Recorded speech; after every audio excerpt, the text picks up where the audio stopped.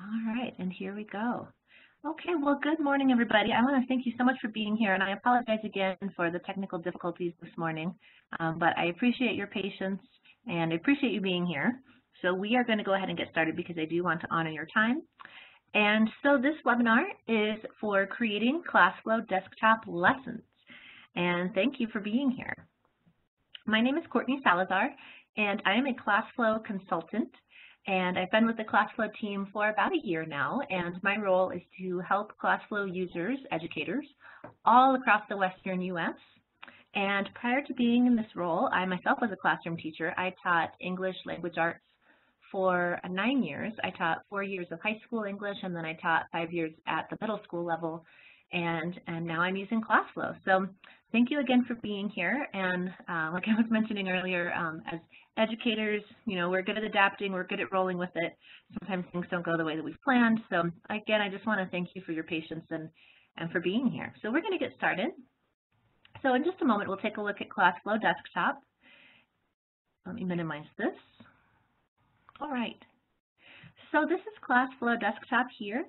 And um, I know we had a, an old, older incarnation of ClassFlow Desktop a while back, but um, in about February of this year, we came out with our newest version of ClassFlow Desktop. And uh, once you download ClassFlow Desktop, and I'll talk about how to do that in just a moment here, but it's going to live on your desktop. Imagine that. This little icon over here, this is what it looks like. And then when I double click it, I have this wheel. And I can, if I grab the black part of this little circle here, I can drag it anywhere around my screen I want, which I really like. And if I click on this menu button, which we sometimes lovingly refer to as the hamburger, then I'm going to be able to expand that wheel and look at all of these different tools. Okay. Now some of you may already have ClassFlow Desktop, um, but if you don't, I do want to show you where you can get it. Also, I just want to pause real quick. I realized that I forgot to mention um, a couple of things. First of all, you will be recording, I'm sorry, you will receive a copy of this recording um, along with our other Camp ClassFlow sessions, and we will be sending that out within seven business days. So it's going to take us a little while to compile all of these videos, and uh, but you will receive a recording of this that you can watch on your own time. And also, you will receive a certificate of attendance for being here, uh, especially because you really wanted to be here, and we appreciate that. So you'll get a one-hour uh, PD certificate from Promethean. And lastly, oh yeah, I wanted to mention that if you have any questions, please put them into the chat window. And um, if there's time at the end, I really hope that we could delve into those questions and maybe do a little Q&A. So at any point, if you have any questions, please just put them in the chat and time permitting, we'll take a look at those towards the end, okay? So you may already have ClassFlow Desktop downloaded. If you don't, I don't really want to encourage you to go download it right now this minute, um, but you I just do want to show you where it's located. Okay, that way you can kind of still be present and be here with us. And so when you're on the class ClassFlow homepage, go ahead and get logged in here so I can show you. Move that wheel off to the side. All right, and here we go. On the class ClassFlow homepage, once you've logged in, right in the middle of your screen, you're going to see this little button and it says Get ClassFlow Desktop. Okay. Now when you select that, you're going to be able to download for Windows or Mac. And if you have questions while you're downloading it, again, certainly don't feel as I need to do that right now, but I'm just letting you know if you still need ClassFlow Desktop, you can always um, talk to our wonderful support team if you if you have any issues along the way as you download. Okay, so just want to make sure that you knew where to locate that.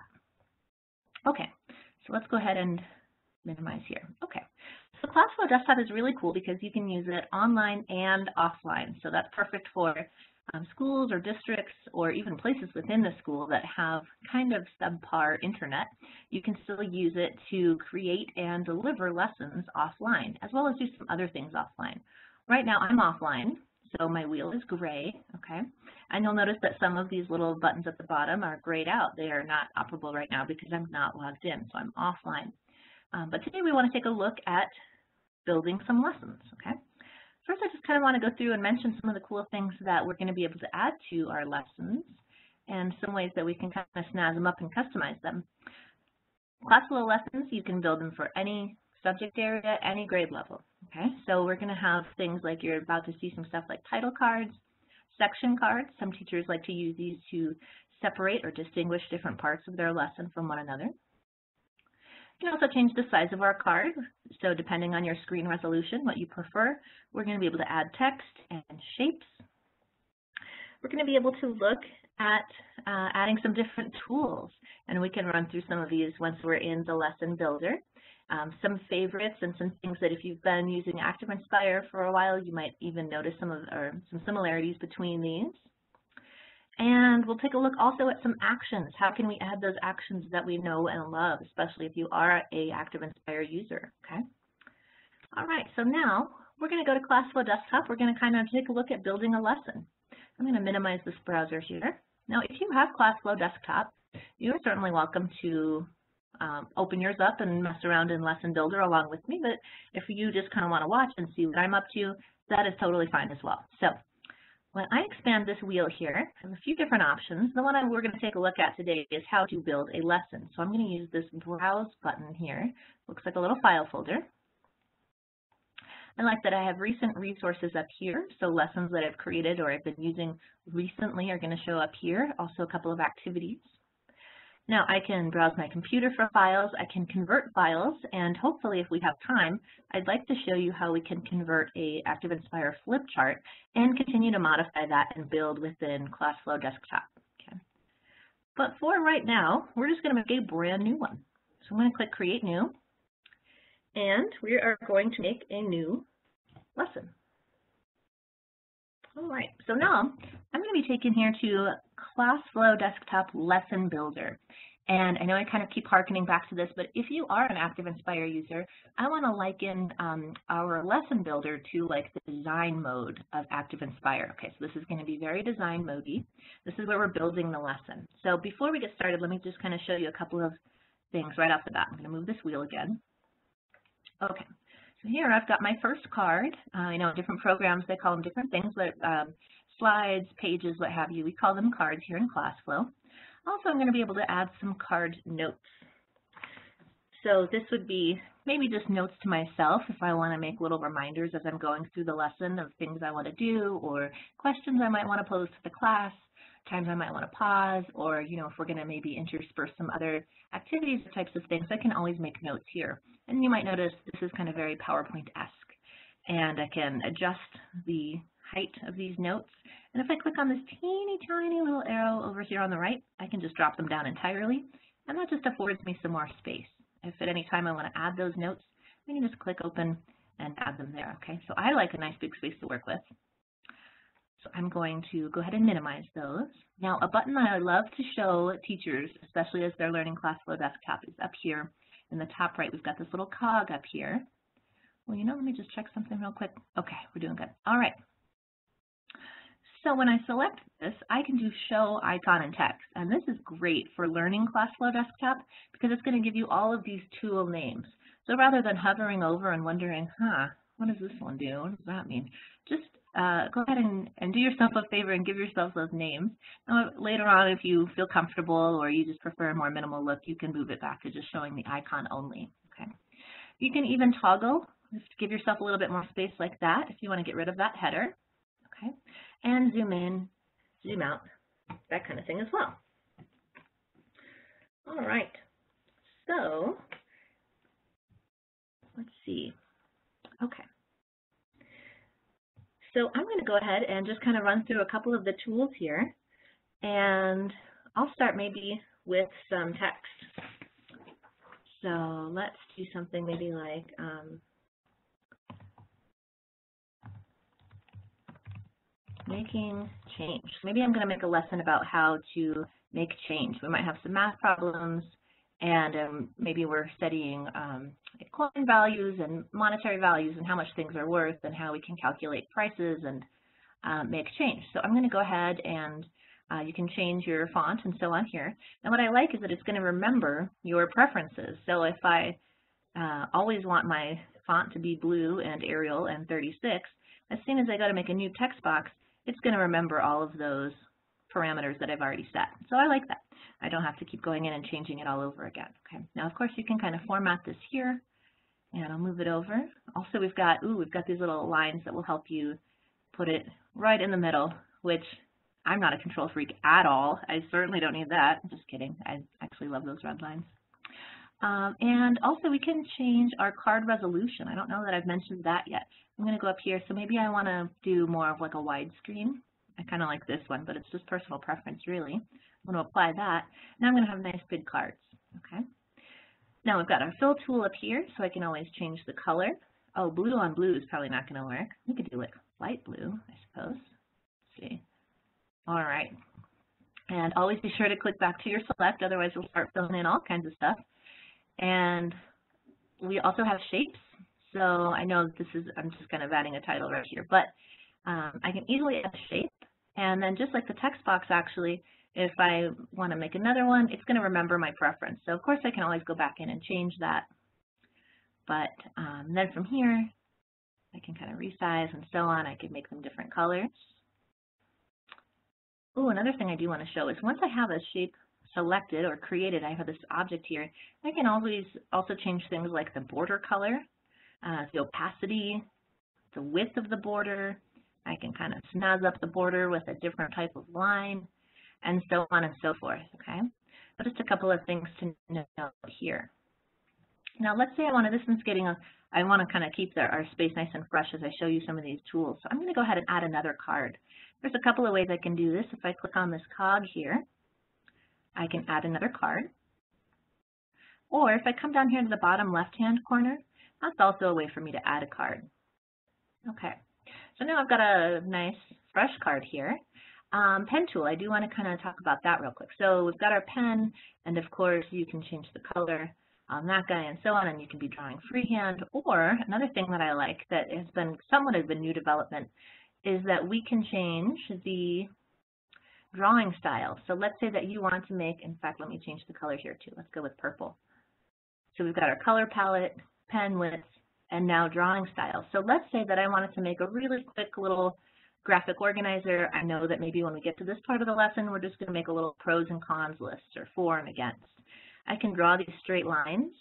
And again, certainly me, no, not, not I'm not a control freak at all, but drawing straight lines uh, is really helpful. And we got a ton of teacher feedback saying, hey, we just want to be able to draw some straight lines. So um, I really like that feature as well. I'm going to add a new card here, and I think I'm still on pen. I should probably go back to my select tool.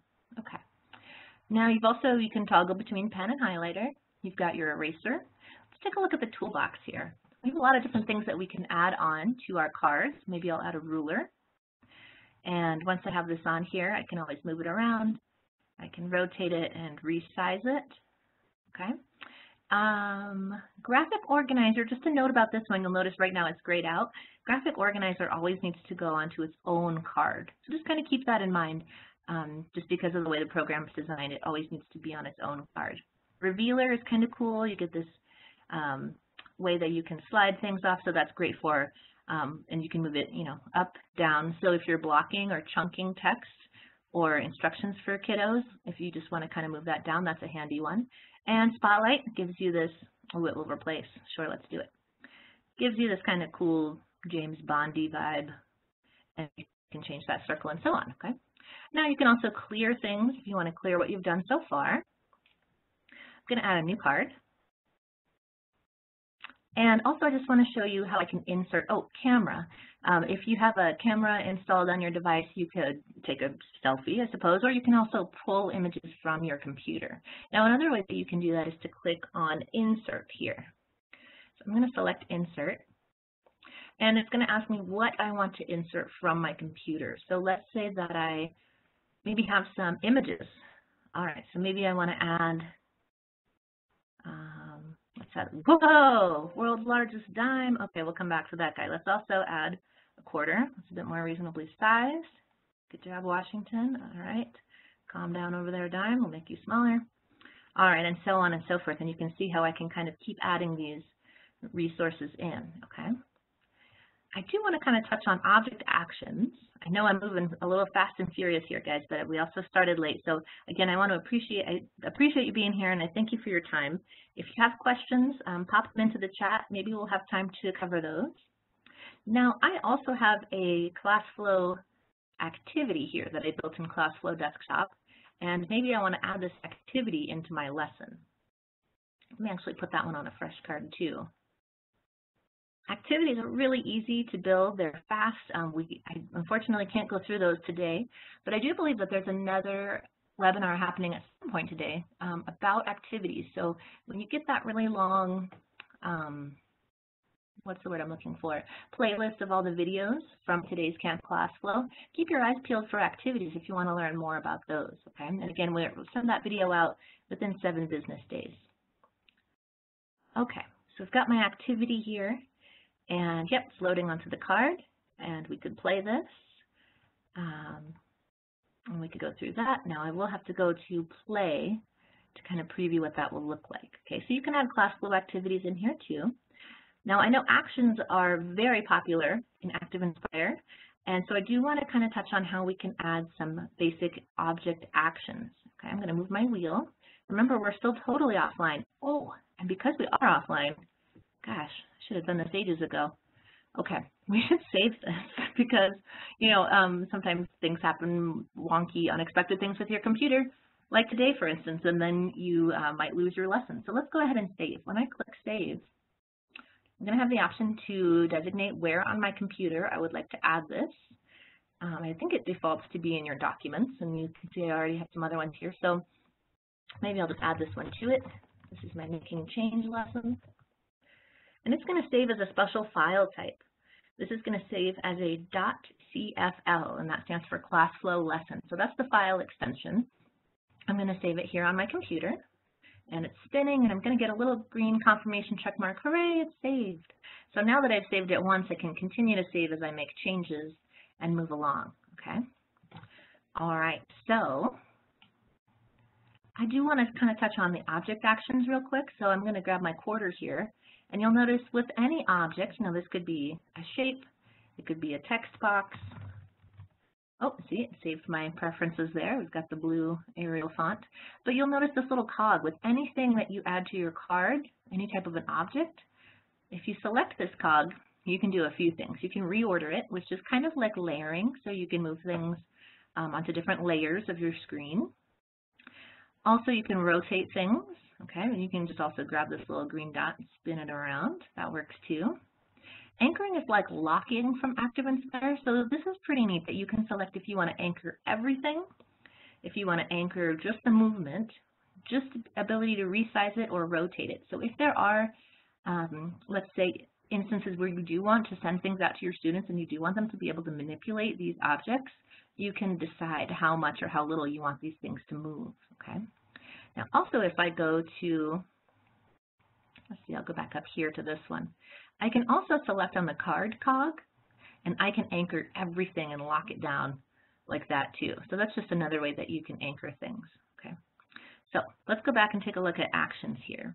Now, if I go to actions, I'm going to have uh, a number of actions. Let's see how many we have here. Five different actions. Um, many of these were some of the favorites and the most commonly used ones from ActivInspire, so we brought them over. Now you'll notice that some of them do go by slightly different names. So show and hide, I think used to be maybe something like hide and reveal. I might be getting that one wrong.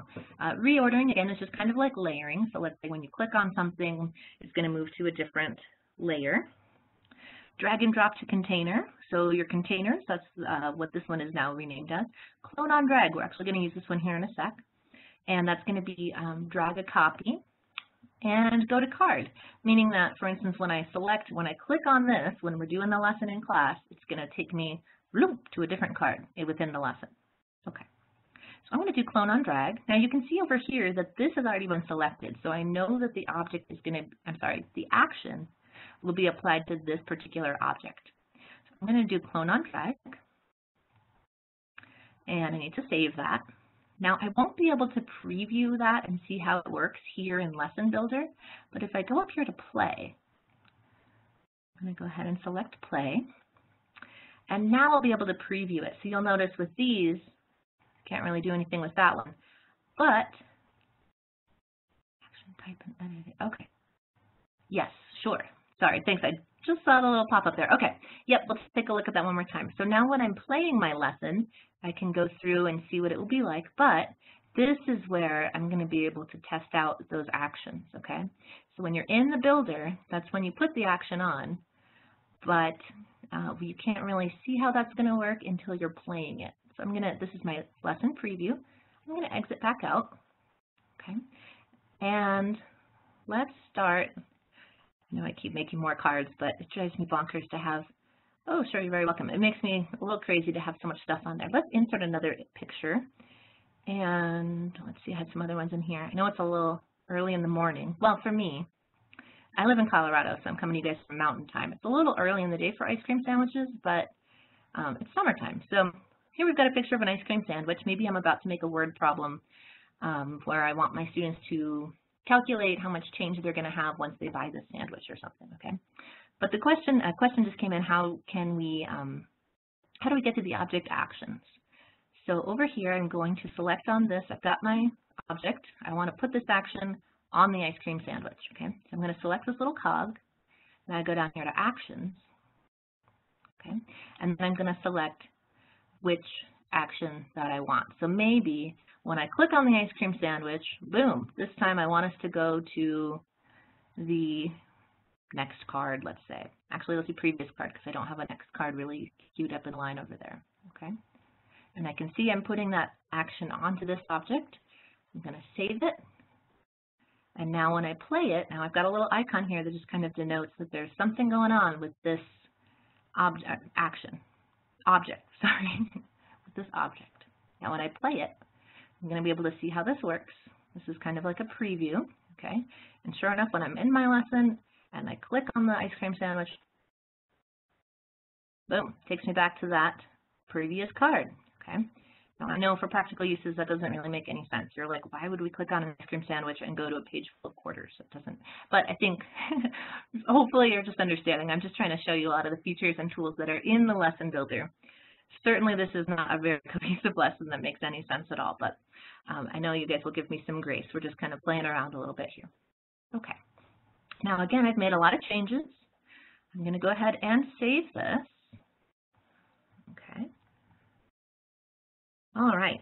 Now, I do want to point out, actually, let me get to a card where you can see a little, oh, I can see a little bit easier here. Okay. So, so far, all I've been able to do is just save and play, or preview, essentially. Now, if I want to upload this and add it to my, my resources in my ClassFlow account, I would need to go ahead and um, log in in order to do that. Okay. So if I click over here on this cog, this is going to be a good one to show you guys because I also do want to point out help and support where they're located. Okay. So when I click on that little cog, again, when I expand my wheel, that's the tool over here all the way on the right. Okay, on the cog. There we go. All right. So now I'm going to be able to adjust settings and quit. This is when you're ready to quit the whole thing. Go away ClassFlow Desktop, click quit. But help, I do want to point this out to you. Um, we have, if you select here, you'll be taken to a whole library of videos, short little videos, guys. These are like 45 seconds to maybe one minute long. And they will, they're on a whole different range of things. So let's say like actions and you're like, hey, I, I want to watch another video about how to add those actions or um, how I can import things from my computer, existing resources, that kind of a thing. Um, we've also got a help website, and you can also contact our support team. We have a whole support team at ClassFlow that is solely dedicated to assisting our ClassFlow users like you. And I know as teachers, a lot of times we like to, um, you know, we kind of pride ourselves in being the experts in things. Sometimes it's hard to ask for help or ask questions, but really, guys, I want you to know that we are here for you. And um, if you're wondering about something or you're struggling or you just have a question or even some feedback, um, let us know, okay? Okay, so I had mentioned logging in. So I'm going to go ahead and select this cog. Now I'm going to log into my ClassFlow account. And ooh, let me change that. Okay, I use a little demo account when I'm showing stuff off to people. Okay, and I'm going to log in like so. Okay, now my wheel has turned orange. So now I'm logged in. You'll notice too I've got a little bit of additional functionality here. Okay, so now I can connect students. I know we're not going to look at that right now, um, but we do have other webinars. And again, I know I keep saying this, but you're going to get a video of all of the sessions. And so, whoa, ooh, we might have somebody getting connected there. Interesting. Okay. All right. So now once I have, sorry, let me just stop that real quick. Okay. Now, once I have logged in, I've got my lesson here. Now I'm going to be able to upload this. So if I select upload, thinking about it, working on it, depending on how the lesson is, may take a different amount of time. Okay, and now it's unloaded to my ClassFlow resources. So, moment of truth, guys. See if it worked. When I go to my ClassFlow account online, I should have that lesson here in my resources. It takes a minute to copy over. And I know we're, ah, yikes. This is how I always felt in the classroom. Like, how are we always out of time? How are we already running out of time? Oh no, okay. So, and here we go. We've got the making change lesson. I've got my lesson here full of ice cream sandwiches and many quarters. And I've also got a little folder, and that's going to uh, include things that, like the image of the ice cream sandwich, let's say, okay? So it's going to bring in any types of resources that it can that were built into the lesson too. So if I want to use that ice cream sandwich thing later, I can, So I just did want to show you how you can upload that to your ClassFlow account. All right, I'm going to move over here real quick.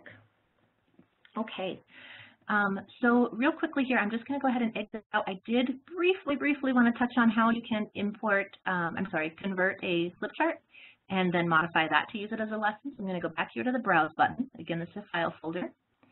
This time I'm going to convert file to lesson. So if I have a flip chart I want to use, it's going to prompt me to decide, okay, well, where's your flip chart?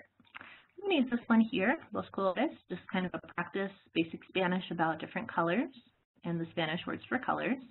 When I select open, it's going to, kind of depending on the size of your flip chart, may take a moment, it's going to convert my flip chart into a ClassFlow desktop lesson, and it's going to take me back into this lesson builder. Okay, so from here, if I wanted to add things or modify things, change anything about my lesson before I use it with students, um, then I will be able to do that. Here we go. Again, kind of depending on the size of your flip chart, um, it may take different amounts of time. Okay, and here's my flip chart, but now it is a ClassFlow desktop lesson. Okay, so I could go ahead and play this with my students. I could, we could go through it together. So let's say I wanted to play. I've got this pen tool here. I don't think I've touched on this, but I can use these arrows to flip through my cards. Also got a pen tool if we want to be filling things in as we go. All right. And I'm just going to go ahead and exit back out of here. Now, when I click Save, you might be wondering, okay, well, she hasn't saved it as anything yet, so where is that saving to, right? Let's go ahead and exit back out of here. It's going to save your ClassFlow desktop lesson in whatever the same location was that you had your flip chart. So for me, I just have my flip chart hanging out here on the desktop for easy access for today. But it's going to make that desktop lesson, so I haven't changed anything about the flip chart, still exists, but now I also have this desktop lesson and it's going to just automatically save in the same location. So whichever folder or destination on your computer you have, okay? All right, well, um, I know that I had promised a little bit of time for, um, for Q&A, and I apologize if we um, have not got to some of those questions. Um, I will do my best to kind of take a look back through them later. I know we're also taking a look at um, compiling questions that participants have had today and maybe making a separate, you know, um, webinar about most frequently asked questions, that kind of a thing. So uh, I want to thank you so much for being here today. I apologize again for this technical snafu, um, but I really appreciate everyone for being here. And um, please don't forget, if you are playing around with desktop and you have questions, we've got that help, that support team for you, and the videos and the articles and so on. And um, thanks again, and I hope everybody has a really enjoyable rest of your summer.